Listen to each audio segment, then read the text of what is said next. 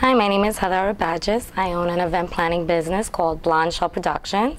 I bring professionals together in a comfortable environment in venues all throughout the city where they can converse and uh, basically get to know each other. The way that I plan them is that each person comes in and they will receive a uh, name tag. In addition, they drop business cards in a fishbowl and they pick them out. In that case, that way you won't feel, uh, I guess, nervous or shy to approach somebody that's already wearing a name tag.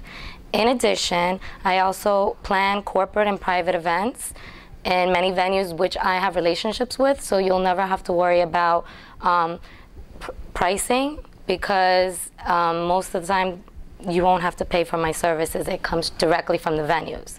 My next event is a football event for you, all you football lovers at the Stellan, in which we're going to have some sexy football players there.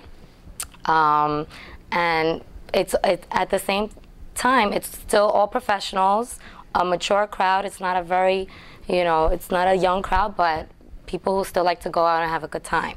I hope to see you at one of my, one of my events. Thank you very much. Yay.